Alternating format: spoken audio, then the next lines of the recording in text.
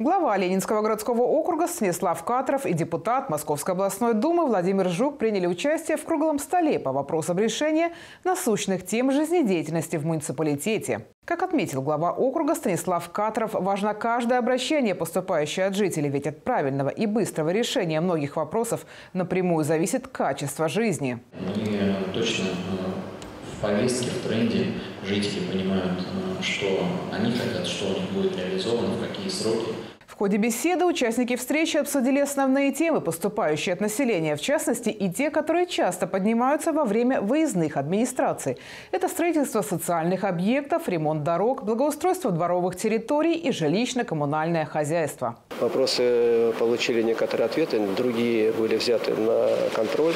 Поэтому на следующей встрече, наверное, более, более развернуто можно на них получить ответы. И самое главное, что они все идут на пользу нашим жителям.